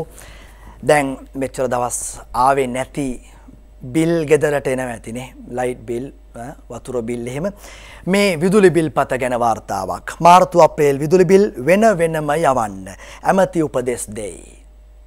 ඔබට දැනට සමහර වෙලාවට මේ මේ විදුලි බිල් ඇවිල්ලා තියෙන වෙන්න පුළුවන්. බිල් දෙක දෙකම එක බිලක් විදිහට. කලබල වෙන්න එපා. ඒක වෙනස් කරලා බිල් දෙකම එන්න පුළුවන්. ඒ වගේම බිල් දෙක දෙකක් විදිහට එන්න පුළුවන්. ඒ වගේම සහන කාලයකුත් මේ සඳහා ලබා දෙනවා. ඒ නිසා ලොකු කලබලයක් වෙන්න එපා. ඔබත් අමාරුවෙන් ඉන්නේ අපහසු තත්ත්වයෙන් ඉන්නේ රටම අපහසු තත්ත්වයෙන් ඉන්නේ. නිසා අපි දන්නවා ඒක. කවුරුත් දන්නවා. රජයත් ඒක තේරුම් අරන් ඉන්නවා. ඒ නිසා අපි ඒ විදිහට කටයුතු කරමු. කලබල වෙන්න එපා. හොඳයි. පවතින තත්ත්වය ගැන අපි නිරන්තර අවධානයෙන් ඉන්න එක හොඳයි. ඔබ අවධානයෙන් ඉන්න එක හොඳයි. අපි අවධානයෙන් ඉන්න එක හොඳයි. අපි තේරුම් ගමු මොකද්ද රටේ පවර්තමාන තත්ත්වය පවතින්නේ කොයි විදිහටද කියලා. අපි සම්බන්ධ කරගන්න බලාපොරොත්තු වෙන්න සූදානමින් ඉන්නේ කොළඹ ප්‍රදේශීය බහර ජ්‍යෙෂ්ඨ නියෝජ්‍ය පොලිස්පතිතුමා දේශබන්දු තෙන්නකෝන් මැතිතුමා අපිත් සමග සම්බන්ධ වී සිටිනවා. ජ්‍යෙෂ්ඨ නියෝජ්‍ය පොලිස්පතිතුමා අයිබෝවන් සුබෝදෑසනක් ඔබතුමාට. අයිබෝන් චමුත. දැන් අපි විශ්වාස කරනවා තවත් බොහෝ දෙනෙක් බලාපොරොත්තුවෙන් හිටපු කටයුත්තක් විවෘත කරලා මෙතැන්ට ඇවිල්ලා තියෙන අපිත් එක්ක කතා කරන්න. මම කියන්න යන්නේ ඒක ඔබතුමාම කියන එක හොඳයි වටිනවා. ඒක කියන අතරෙම මේ මේ කියන්න දැන් කොහොමද මේ ඉක්ුත් ගත වෙච්ච සඳුදා ඉඳලා මේ දක්වා කොහොමද අපේ හැසිරීම හොඳයිද? මේ ඇඳරි නීතිය ලීල් කරපු අවස්ථාවේ සතුටු වෙන්න පුළුවන් මට්ටමක් තියනවද? අඩුපාඩුත් තියෙනවා නම් කියන්න කමක් නැහැ. අපිත් හැදෙන්න එපේ මොකද තත්ත්වේ? සුබෝදෑසන චමුත්ත ඔබ සඳහන් කරා වගේ අද දවසේ තවත් අපි සුවිශේෂී පියවරක් ඉදිරියට ලැබුවා. විශාල පිරිසක් මග බලාගෙන හිටියා මේ දීර්ඝ ඇඳරි නීති කාලයෙන් පස්සේ මාසයකමාරක දෙකකට විතර ආසන්න කාලයක් තුල තමන්ගේ ශරීර සූතා කටයුතු ආරම්භ කරන්න අවස්ථාවක් ලැබෙනකම්. ඉතින් මේ මොහොතේදී අපි ටොරින්ටන් චතුරස්‍රයේ තියෙන ශරීර සූතා මන්තිරු වල විශාල පිරිසක් සමග ඒ දෛනික ශරීර සූතා කටයුතු ආරම්භ කරා. ඒ අනුව මහජනතාවට අවස්ථාවක් ලැබිලා තිනවා සෑම දවසකම පාන්දර 5 ඉඳලා උදේ 8 වෙනකම් මේ ටොරින්ටන් චතුරස්‍රය සහ ලංකාවේ විවිධ ප්‍රදේශවල තියෙන ශරීර සූතා මන්තිරවල තමන්ගේ ශරීර සූතා කටයුතු සුපුරුදු පරිදි ආරම්භ කරන්න. ඒ වගේම සවස් කාලයේත් සවස් 4 ඉඳලා රාත්‍රී 8 දක්වා කාලය තුල තමන්ට කටයුතු දෙන්න අවස්ථාවක් තියෙනවා. ඉතින් මම හිතන්නේ ඒක මේ ගෙවල් වලට වෙලා බොහෝ ඇඳරි නීතිය තියෙන කාලය තුල කම්මැලිකමෙන් හිටපු අයට මම හිතන්නේ ලොකු අස්සසිල්ලක් වෙන්න පුළුවන්. ඒ අයට ඇවිල්ලා තමන්ගේ ශරීර සූතා කටයුතු ආදී ආරම්භ කරන්න අවස්ථාවක් තියෙනවා. ඒත් එක්කම තමයි ඔබ සඳහන් කරා වගේ පසුගිය කාලය තුළ දැන් ඇදිරි නීතිය කඩකිරීම නිසා අත්ගණුගත් සංඛ්‍යාව දවසින් දවස ඉහළ නැගිමින් තියෙනවා. දැන් ඊයේ දවසේ විතරක් බස්නාහිර පළාතේ 1121ක් පුද්ගලයන් සහ වාහන 579ක් අත්ගණුට අරන් තියෙනවා. ඉතින් අපි ඒකෙන් ඒ සංඛ්‍යාව වැඩිවීම සම්බන්ධයෙන් සතුටු වී යුතු නැහැ. මේ පණිවිඩය රජයේ සහ සෞඛ්‍යාංශවල පණිවිඩය පිළිබඳ නිසියාකාරව වැටහීමක් ඇති කරගන්න නැතුව මේ ඇඳරි නීති කඩ කරමින් මේ විදිහට කටයුතු කරන සංඛ්‍යාව වැඩි වෙනකොට අපිට ඒ පිළිබඳ කනගාටුවක් ඇති වෙන්නේ. ඉතින් මේ රටේ මම හිතනවා අතිමහත් බහුතරයක් මම හිතන්නේ 90කට එහා පැත්තේ වෙන්න සාමාන්‍ය ජනතාව ඊටාම හොඳින් රජයේ සහ සෞඛ්‍යාංශවල පණිවිඩය තේරුම් අරගෙන ඊටාම වකීමෙන් යුතු ක්‍රියා කරනවා. තමන්ගේ පුද්ගලික වාහනයෙන් පවා ගමන් කරන අය ඒ මුව ආවරණ පැළඳගෙන ඒ වගේම සියලුම විදිහේ ඒ සෞඛ්‍ය උපදෙස් පිළිපදමින් කටයුතු කරනවා. අපිට පේනවා ඊටාම සාමාන්‍ය තත්ත්වයේ පුද්ගලයන් පවා පදික වේදිකාව ගමන් කරද්දී මේ විදිහට කටයුතු කරනවා. නමුත් අතලොස්සක් පිරිසක් මම හිතන්නේ මෙහි ඇති වැදගත්කම් පිළිබඳ අවබෝධයක් නැතුව. දැන් විශේෂයෙන් මේ ඇඳරි නීතියේ පනවලා තියෙන චමුන්ත ආරක්ෂක හේතුවක් මත නෙමෙයි. දැන් යුද්ධ කාලේ එහෙම නැත්නම් කලකෝලහල ඇති වුණාම පනවන ඇඳරි නීතිය වගේ නෙමෙයි.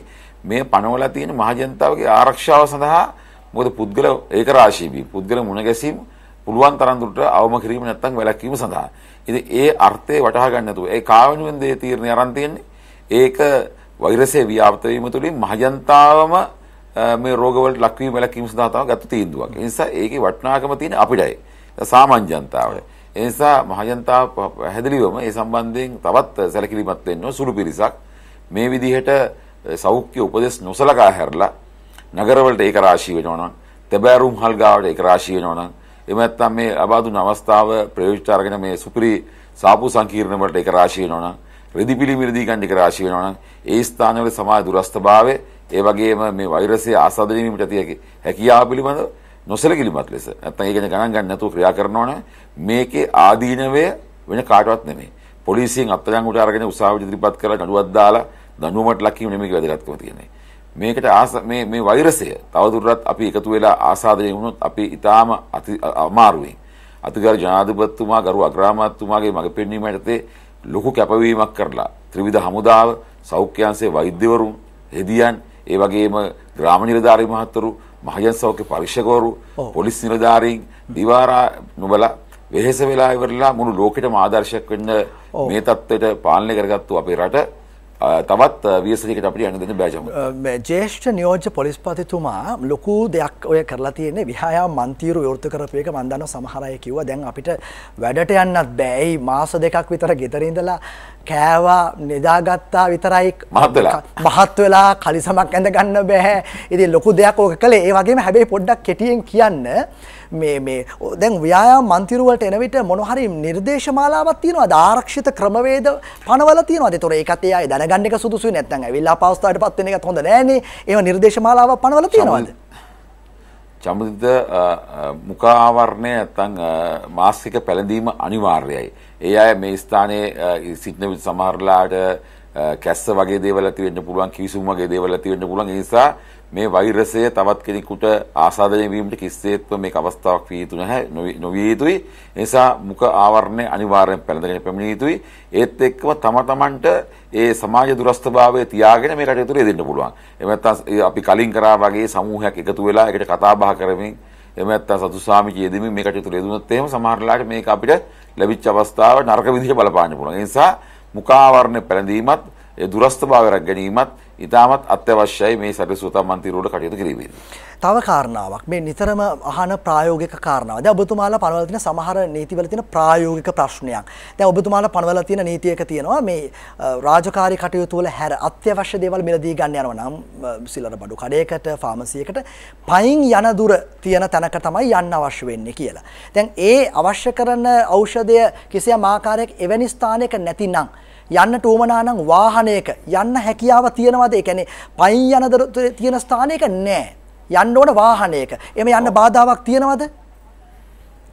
චමුදිත ජාතික හැඳුම්පතේ අග ඉලක්කම් දෙක අනුව පාරට බැහැලා Tamanට ආසන්නම නගරයට පයින් ඇවිදගෙන ඇවිල්ලා අවශ්‍ය ආහාර ද්‍රව්‍යයක් බඩුවක් මුට්ටුවක් මිලදී ගැනීම තමයි ඒ අවස්ථාව දීලා තියෙන්නේ. ඒකම සෑම දැන් බස් අහිර පළාතේ ගත්තොත් සෑම නගර උපනගර වගේ හැම දෙයකම පාමසියක් එහෙම නැත්නම් ඔස්වලක් වගේ දෙයක් තියෙනවා. ඉතින් ඒ නිසා Tamanට අවශ්‍ය දේ ගන්න පුළුවන්. ඊට අමතරව ඔබ සඳහන් කරා වගේ කිසියම් කෙනෙක් රෝගාබාධයකින් පෙළෙනවා නම් එහෙම නැත්නම් තමන්ගේ පවුලේ සමාජිකයෙක් බරපතල අ, අපහසුතාවකින් ඉන්නවා නම් යම්කිසි රෝගයක් නිසා ඔහුට ළඟම තියෙන රජයේ රෝහලකට යන්න, ඒ වගේම පුද්ගලික රෝහලකට යන්න, නැත්නම් චයිල්ඩ් සෙන්ටර් එකට යන්න, එහෙම නැත්නම් ෆාමසියකින් බෙහෙත් ටිකක් ගන්න මේ නීතියේ පිළිබඳ කිසි ගැටලුවක් ඇති වෙන්නේ නැහැ. නමුත් වැදගත් වෙන චමුදිත මේ වගේ අවස්ථාවක් දුන්නාම මේවා අවභාවිතා කරනවා.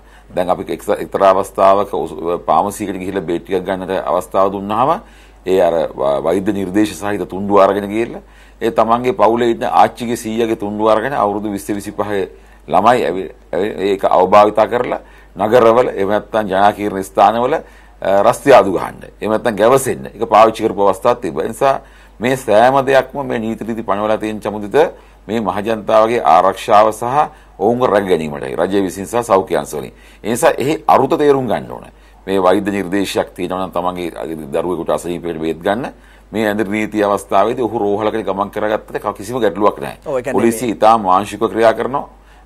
ඔව් මේ කියන්නේ මේ මානුෂිකව ක්‍රියා කරන සමහර. අවභාවිතා කරනවා කියන්නේ අර සැබෑ ඇත්ත අවශ්‍යතාවය තියෙන පුද්ගලයාගේ අවස්ථාව තමයි නැති කරන්නේ. ඒකයි මේ ප්‍රශ්නේ නේ? ඔබ හරි. ඔව්. ඔබ හරි. හොඳයි අවසන් වශයෙන් ජේෂ්ඨ නියෝජ්‍ය පොලිස්පතිතුමා මාස දෙකක විතර කාලයක් බස්ටාහිර පළාතේ තමන්ගේ ගම්බිම් වලට යන්න බැරුව තමන්ගේ වැඩබිම් වල කම්හල් වල සිර වෙලා හිටිය 53000ක විතර පිරිසක්. ඊයේ මම වාර්තාවක කියෙව්වා 46000ක් තව ඉන්නවා කියලා. කෙටියෙන් කියන්න පුළුවන්ද කොහොමද මේ 46000ත් ගම්බිම් වලට යැවීමේ වැඩපිළිවෙල කොහොමද ඉදිරි කාල පරිච්ඡේදයේ ක්‍රියාත්මක කරන්නේ කියලා?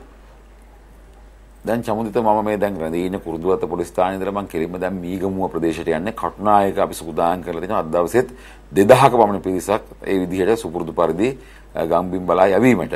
මේක ඉතාම වගකීමෙන් කරන කාර්යයක්. මොකද සෞඛ්‍ය බලධාරීන් උපදෙස් දීලා තියෙන මේ පිරිස කිසිම වග විභාගයකින් තොරව මේ අය නැවත ගම්බිම් බලා ඇරියොත් එහෙම මේ බස්සාහිර පළාත අධි අවදානම් කලාපයක් ලෙස නම් කර තිබිච්ච කලාපයක් විශේෂයෙන් ගම්පාසා කොළඹ දිස්ත්‍රික්ක දෙක. මේ පිරිස සමග හිටපු අය ගම්බිම් බලා යවලා කිසිම ආසාදිතයෙක් සොයා නොගත්ත දිස්ත්‍රික්කයකට මේ වෛරසය ව්‍යාපෘතුනොත් එහෙම ඒක මේ අපේ රට අද ලබාගෙන තියෙන ජයග්‍රහණය නැත්නම් පාලනය සම්බන්ධව ලොකු බලපෑමක් වෙනවා. ඒ නිසා මේ යවන සියලු දෙනාම සෞඛ්‍ය බලධාරීන් විසින් යැවීමට නිර්දේශ කරපු අය. ග්‍රීන් ටු ග්‍රීන් කියලා කියන concept එක අනුව තමයි මේ යවන්නේ සංකල්පය අනුව තමයි යවන්නේ. ආසාදිතයන් සොයා නොගත්ත ප්‍රදේශවල අය මෙතෙක් ඒ ආසාදයන් සොයා නොගත් ප්‍රදේශ බලා යැවීම තමයි කරන්නේ.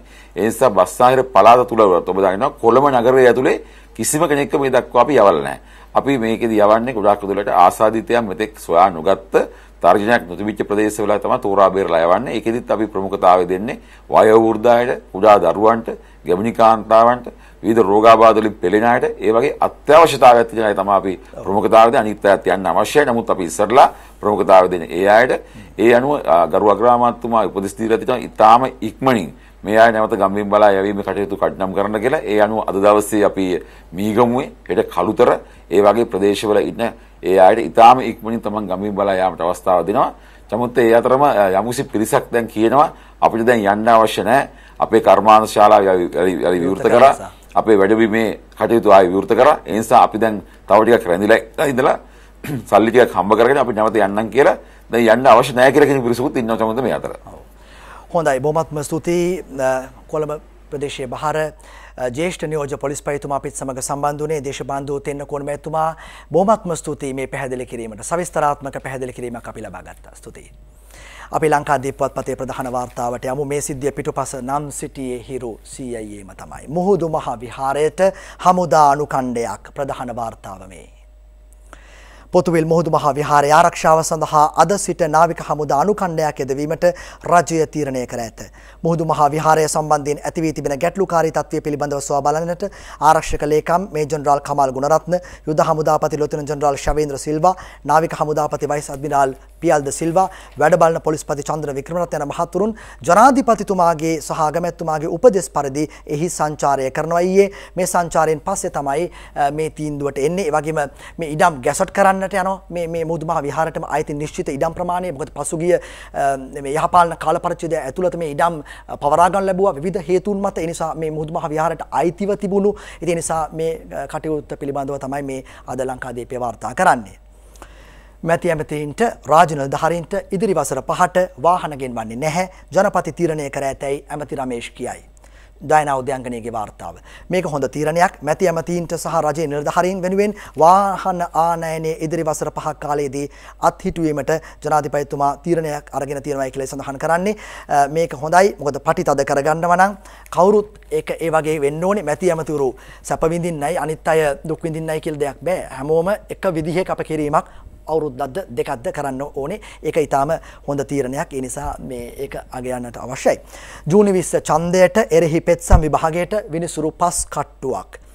තිලින්ද සිල්වා සහ රංජන් කටුගම්පලගේ වාර්තාව. මැතිවරණ කොමිසම ජූනි මාස 20 වැනිදා මහා මැතිවරණය පැවැත්වීම වෙනුවෙන් නිකුත් කර තිබෙන ගැසට් නිවේදනය අභියෝගයට ලක් කරමින් ගොනු කර ඇති පෙත්සම් සලකා බැලීම සඳහා පංච පුද්ගල ශ්‍රේෂ්ඨාධිකරණ විනිසුරු මඩුල්ල පත් කරන්න අග විනිසුරුවරයා ඊයේ තීන්දුව කර ඇත. ආචාර්ය ජයන්ත ධනපාල ව්‍යවස්ථා සභාවෙන් ඉල්ලාස් වේ. සුජිත් හේවාජූලිගේ වාර්තාව. ආණ්ඩුක්‍රම ව්‍යවස්ථා සභාවේ සමාජිකයෙක් වූ ආචාර්ය ජයන්ත ධනපාල මහතා එම සභාවෙන් ඉල්ලාස් වීමේ ලිපිය කරු ජයසූරිය මහතාට ලබා දෙනවා. මේ වාර්තාව සඳහන් කරන්නේ ඔහු ඔහු සෞඛ්‍ය හේතුන් මත ඉල්ලාස් වන බව තමයි සඳහන් කර තිබෙනවයි කියලා. අපි යමු ලක්ෂ්මන් කිරියල්ල මහතාගේ ප්‍රකාශයකට දිවයිනට බාණ්ඩාගාරයේ නිලධාරීන් නීතියේ හිර වෙලා මේ කුෂාන් සුබසිංහගේ වාර්තාව. ඔහු කියන්නේ රජයේ සේවකයන් සඳහා නියමිත වැටුප් ගෙවීමේ දී භාණ්ඩාගාරයේ නිලධාරීන් කිසියම් සිරවීමක තිබෙනවයි කියන කතාව සඳහන් කරන්නේ. අද දිවෙන පුවත්පතේ මුල් පිටුවේ වාර්තාවක් ලෙස උපුටා ගන්නේ. අපි අවසන් වශයෙන් උපුට ගන්නේ මුල් පිටුවේ වාර්තාව වලින් අද පුවත්පතේ වාර්තාවක්. ඔබට මතක ඇති අර කසල කන්ටේනර් පිළිබඳව. කසල කන්ටේනර් ප්‍රති අපනයනයට මධ්‍යම පරිසර අධිකාරිය පියවර ගනී. මේ නිදර්ශන වික්‍රමසිංහගේ වාර්තාව.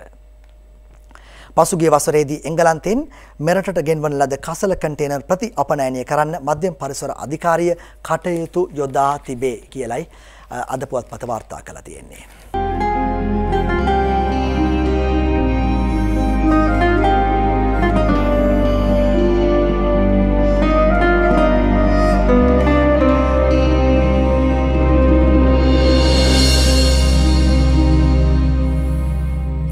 අපි මවබිම පුවත් පතටෙමු.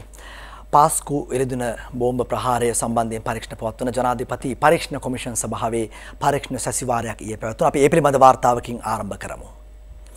පාස්කු ප්‍රහාරයේ පෙර සැලසුම් ගැන CID සොයා බලා නැහැ. තොරතුරු පහළට දැනුම් දුන්නා නම් ප්‍රහාරය වළක්වා ගන්න තිබුණා. මේ රුවන්ත නිතුල්ගස්පිටියගේ වාර්තාව. දේශපාලන තෙන්නකෝන් නියෝජ්‍ය පොලිස් පතිතුමා සාක්ෂි දෙමින් කියන්නේ වග කිව යුතු අය නිසි පියවර ගත්තේ නැහැ. බුද්ධි තොරතුරු හොයන අයට රුපියල් 2500ක ජංගම දුරකථනයක්වත් දීලා නැහැ. අනිසිබියක් ඇති කරන්න එපා කියලා ඉහලින් කිව්වා. කටාන පොලිස් ස්ථානාධිපති නිසි ක්‍රියාමාර්ග ගෙන තිබුණේ නැහැ. දැන් තමයි මේ දේවල් අනාවරණය වෙන්නේ. පාස්කුවිල දෙන ප්‍රහාරය සම්බන්ධව. අපි යමු අද පුවත්පතට. පාසල් ආරම්භයේදී විෂබීජ හරණ රෝගී කාමර ආදී කටයුතු සඳහා දෙමව්පියන්ගෙන් මුදල් එකතු කර ගැනීමේ සැලැස්මක් ලංකා ගුරු සංගමය මේ කියන්නේ. ඉන්දික හේවා විතාරණ වාර්තා කරන්නේ. පාසල් නැවත ආරම්භ කිරීමේදී මුදල් එකතු කරන්න වෑයමක් තියනවලු සැලැස්මක් මේ විෂබීජ හරණ කටයුතු සඳහා අධ්‍යාපන ඇමතුමා මෙහෙම තත්වයක් තියෙනවද කියලා පොඩ්ඩක් හොයලා බලන එක වටනෝ සුදුසුයි කවුරුත් අපහසුවෙන් ඉන්න වෙලාවක් ඒ නිසා මේ ගැන අවධානය ඔබතුමාගේ යොමු වෙන්නටම අවශ්‍යයි කියලායි අපි විශ්වාස කරන්නේ. අපි අධ්‍යාපන ඇමතුමාගේම ප්‍රකාශයකට යමු. මව්පියන්ට බරක් නොකර දරුවන් පාසලට කැඳවීමට අවශ්‍ය සෞඛ්‍ය පහසුකම් අපි සලසනවා. එහෙම කියනකොට මුදල් එකතු කරනව වෙන්න බෑනේ. මේ දල පලාපෙරුම ඇමතුමා ඒ අදහසෙන්ම ගම්මි වෙන්නේ මුදල් එකතු කිරීමක් වෙන්න බෑනේ. අපි මේ මව්බිම පුවත්පතෙන් එතුමාගේ ප්‍රකාශය මේ උපුටා ගන්නේ. යුරෝපා සංගමය දුන් කෝටි හාරසිය පණහක මුදල වහාම ජනතා වෙනුවෙන් යොදවිය යුතුයි. මේ සජිත් ප්‍රේමදාස හිටපු විපක්ෂනායකතුමාගේ අදහසක්. අපි මව්බිම් පුවත් පතිනුයි උපුටා ගන්නේ. ජනපැති අගමැති ජනතා වෙනුවෙන් මොනවද කළේ කියලා ජනතාව දන්නවා. මේ මව්බිම් පුවත් පතිනුයි තවත් උපුටා ගැනුමක් බදුල දිස්ත්‍රික් නායක තේනුක විධානගමගේ මහතා කරන ප්‍රකාශයකුයි අපි උපුටා ගන්නේ. මවබිමම තවත් වාර්තාවක්. විදෙස්ගත ශ්‍රී ලාංකිකයාට වැටුප් දෙන බවට හොර ලියවමක් එනවල්ලු. මේ චාමරාමරසූරියගේ වාර්තාව ජනාධිපති මාධ්‍යංශයේ ලිපි ශීර්ෂ භාවිතා කරමින් කොරෝනා වසංගත තත්වයට අදාළ ව්‍යාජ ලිපියක් සාදා සමාජ මාධ්‍යන්හි ප්‍රචාරය කරන බවට තොරතුරු ලැබී තිබෙනවයි කියලයි මේ වාර්තාව කියන්නේ. විදෙස් වාර්තාවන් කිහිපයකට කෙටියෙන් යමු යමු. ටෙස්ටෙස්ටරෝන් අඩුනම් COVID-19 අවධානම වැඩි. මේ ලංකාදීප ලෝවට අතිරේකය බර්ලින් හි සිට වාර්තා කරන්නේ AFP ඩේලි මේල් වාර්තාව. අපි අද පුවත් පතට යමු. කොරෝනා ආසාධිතයකු උස් හඬින් කතා කරන විට පිටවන වෛරස එයාවට විනාඩි අටක කාලයක් රැඳෙනවලු. මේ අද දකින්නට ඇති හිරු ප්‍රෘති වාර්තාවත් රාත්‍රී මේ කාරණාව මතුකොට තිබුණ විනාඩි අටක් මේ ඔබාවට පරිසරය රැඳෙනවලු මේ අවධානම් සාග තත්වයක්. ලෝකයේ ක්‍රීඩා සනකලිය නම් ඔලිම්පික් ක්‍රිකට් ක්‍රීඩාව සම්බන්ධයෙන් කතා කරන විට නම් ලෝක ක්‍රිකට් කිරුල දෙදහස් අට අවුරුද්ධ ඉඳර නම් IPL ක්‍රිකට් කිරුල මේ ඒ පිළිබඳ වාර්තාවක්. මෙවර IPL අහිමි වුවහොත් ඉන්දියාවට ඩොලර් මිලියන පන්සියක පාඩුවක්. මේ ඕෂිත වරක පිටියගේ වාර්තාව ඉන්දිය පුවත් සේවා ඇසුරුනුයි අද පුවත් පතට වාර්තා කරලා තියෙන්නේ.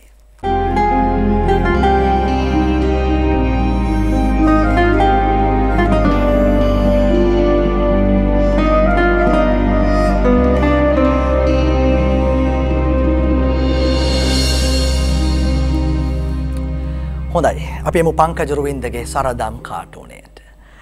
මේ දවස්වල හරි කතාව. චන්ද පත්‍රිකාව කෙනෙක් මේ රත් කරන්නේ කියලනේ.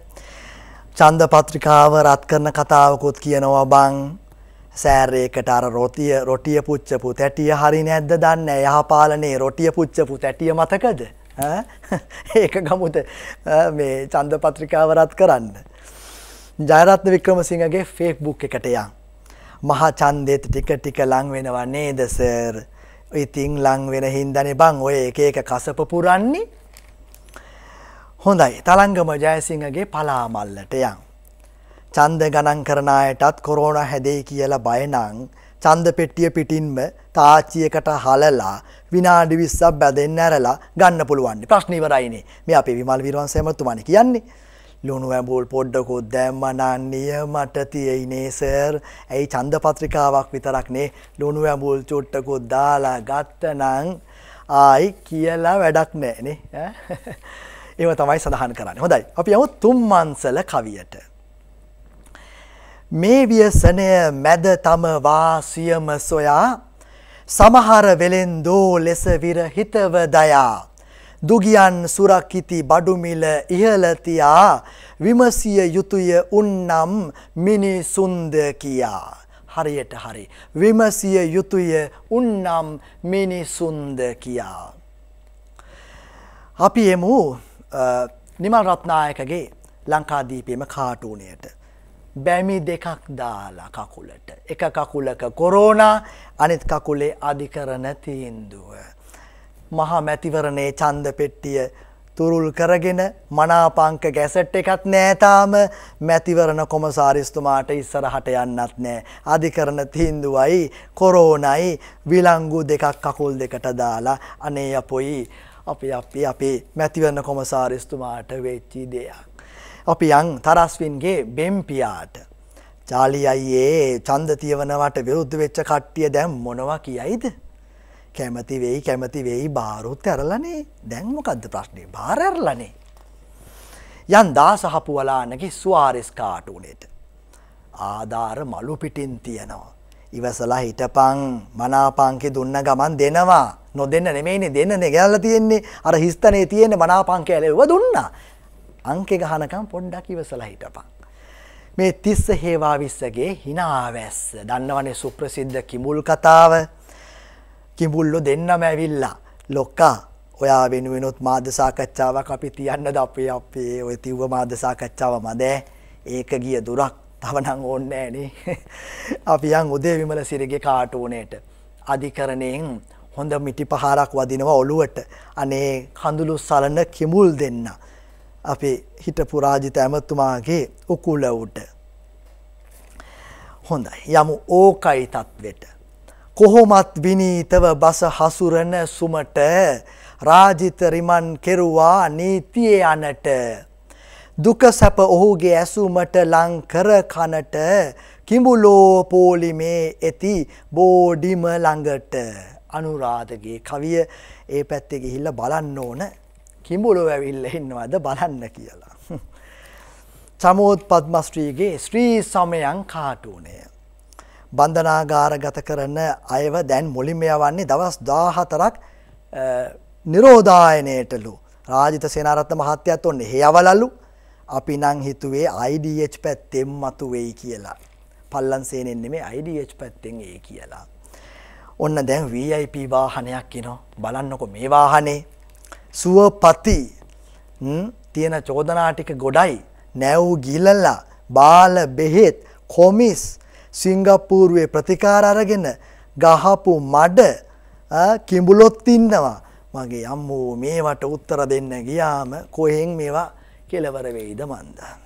දර්ශකපුගේගේ කාටුනේට මෙයන් කිඹුල්ලොම තමයි අද. මේ කිඹුල් කට අතර සිරවී සිටින අපේ හිටපු ඇමතිතුමා රාජිත සේනාරත්න හිටපු ඇමතිතුමා තමයි ඒ අද කවියෙන් මේ කාටූනයෙන් ඇඳලා තියෙන්නේ. අපි යන් දිනමින පත්තරයට. ශ්‍රීකාන්ගේ දූපත කාටූනයට. මොනවා වුණත් බං ඔය රාජිතට කටේ දිවේ ගෑවෙන්නේ නැතුව බොරු කියන්න පුළුවන්නේ හැමෝටම ඒක නෑනේ. එයා දත් දොස්තර කෙනෙක්නේ සර් ඒකනේ. ඒකනේ ඉතින් තේරෙන්නේ නැතුව එකන් හරි ලස්සනට කියන්න පුළුවන්නේ මේ මේ බොරු වුණත් නේ ඇත්ත වගේ. වරකගේ සිතුවමට යම්. හිටපු ඇමති රාජිත රිමාන්ඩ්. අපි සාධාරණය වෙනුවෙන් පෙනී ඉන්නවා. එම කියන්නේ චම්පික මහත්තයා කෙනෙක් අහනවා සර්ගේ ඩිෆෙන්ඩර් අනතුරට පත්වෙච්ච කෙනාටත් සාධාරණ ඉටු කලා වගේද සර් අර සන්දීප්ගේ කතාව. අන්න එයාට අර ඒ අරාබාධිත වුණ තරුණය එයාට සාධාරණ ඉටුනේ ඒ වගේද? අන්න එහෙමද කියලා මේ අහන්නේ. ඩෝක්ටෝක් එකට යම් ප්‍රියන්ති පෙරේරගේ. මත් බාර් එකක් ළඟා ශුමිහිරිපානේ පදමට ගහලා.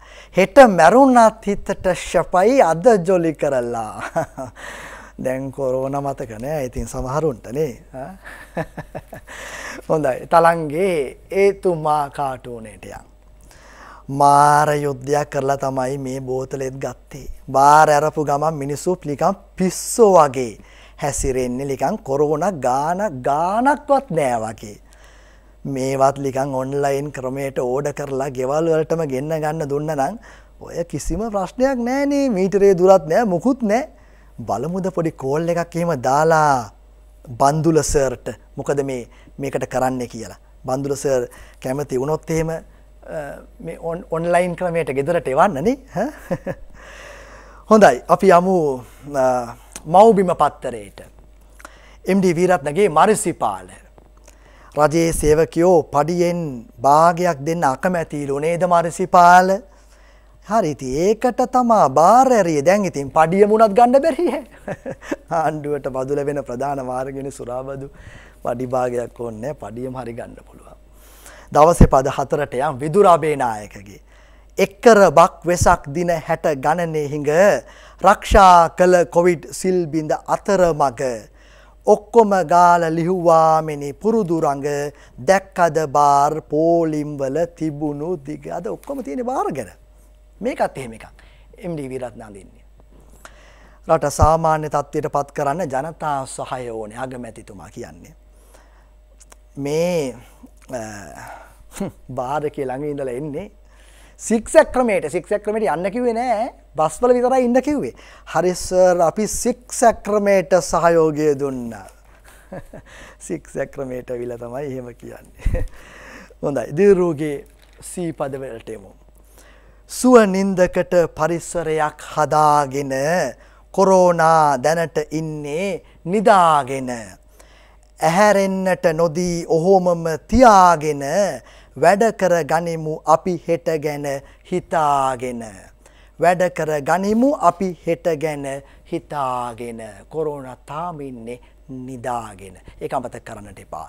අපි හිරු සහන යාත්‍රා ගැන අවධානය යොමු කර ගනින්මින්ම අදට සමුගමු. හෙට හමුවන බලාපොරොත්තුවෙන් සුබ දවසක්. රට වෙනුවෙන් හිරු සහන යාත්‍රා ක්‍රියාන්විතය. හිරු සහනයාත්‍රා ක්‍රියාන්විතය ගම්නගර සිසාරා ක්‍රාත්මක වුණේ COVID-19 වෛරසය ව්‍යක්තවීමත් සමග දුෂ්කරතා රැසකට මුහුණ පාසිටින අපේම ජනතාවගේ සුව සහනය මුඛ්‍ය පරමාර්ථය කරගනිමින්. හිරු සහනයාත්‍රා ක්‍රියාන්විතයට සමගාමීව හිරු මාධ්‍යජාලය ශ්‍රී ලංකා රථකුරස සමාජය හා එක්ව ක්‍රියාත්මක කරන පොදු ස්ථාන විෂපීජහරණය කිරීමේ වැඩසටහන් ක්‍රියාත්මක වනා. ඒ අනුව ජාතික චිත්‍රපට සංස්ථාව නාගරික රථවහන මුලස්ථානය අලුත් කඩේ උසාවි සංකීර්ණය මෙන්ම කොළඹ හා ගම්පා දිස්ත්‍රික්කවල සියලුම උසාවි සංකීර්ණ ඇතුළු ස්ථාන කිහිපයක් මෙලෙස විෂපීජහරණය කෙරුණා. හිරු මාධ්‍ය ජාලය සහ රතකුස සංගම විසින් දෙන ලබන සක්‍රිය දායකත්ව අපි ඉතා ඉහළ වශයෙන් අගය කරනවා. මහජනයාගේ ආරක්ෂාවත් මේ කොවිඩ් දහනමය ඒ කොරෝනා වෛරසය තුරන් කිරීම සඳහා හිරු මාධ්‍ය ජාලයත් ඒවගේම ශ්‍රී ලංකා රතුකුරු සංගමයත් විෂ බීජහරණය කිරීම සම්බන්ධයෙන් ශ්‍රී ලංකා පොලිසිය ගෞරව ප්‍රණාම ස්තුතිය මේ අවස්ථාදී පුද කරනවා. මේ අතර බොරැල්ල පොලිසිය හිරු මාධ්‍යජාලයෙන් සිදු කළ ඉල්ලීමකට අනුව බොරැල්ල බස් නැවතුම්පල උමං මාර්ගය සහ කොටාපාර දුම්රිය ස්ථානය මෙලෙස විෂබීජහරණය කෙරුණා. බෙහෙවින්ම ස්තුතිවන්ත වෙනවා හිරු මාධ්‍ය ජාලයට අපිට ලබා දුන්නු සහයෝගය පිළිබඳව. මේ අතර රට වෙනුවෙන් හිරු සහනයාත්‍රා ක්‍රියාන්විතයට සමගාමීව හොරණ මූලික රෝහලට අවශ්‍ය ආරක්ෂිත ඇඳුම් සහ උපකරණ පරිත්‍යාග කෙරුණා. ජාතික රතුකුරුස සංගමය හිරු මාධ්‍ය ජාලය සමග සම්බන්ධ වෙලා මේ කරන පුණ්‍ය කර්මය ඉතාමත්ම අතිවිශිෂ්ටයි. රට වෙනුවෙන් හිරු සහනයාත්‍රා ක්‍රියාන්විතය.